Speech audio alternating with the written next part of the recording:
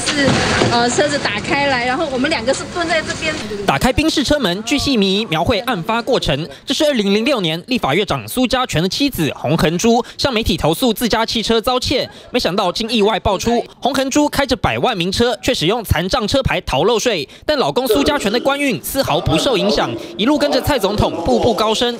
如今就在蔡政府政权面临挑战，下届立委难过半时，苏家全被说要跳船，宣布不当下届不分区立委。妻子洪恒珠则跳出来说要脱党参选，那就一家子全部去当去当这些政治人物就好了。这个先生选完，太太选，太太选完，儿子选，儿子选完，女儿选，吃相真难看。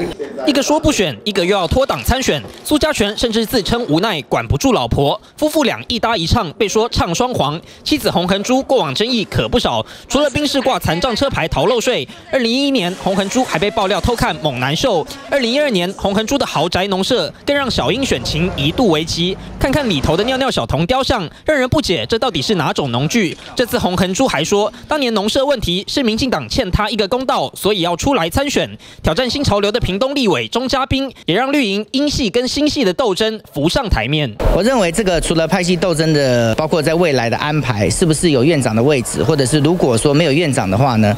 啊，有没有其他的政治的位置的安排？我认为这变成是一个校正的筹码哈。人民只知道是说，民进党的政治人物为了延续权力。不择手段，血淋淋、活生生的互相针锋相对哦。蔡英文还没正式落选，底下派系已经忙着卡位，明枪暗箭互相攻防。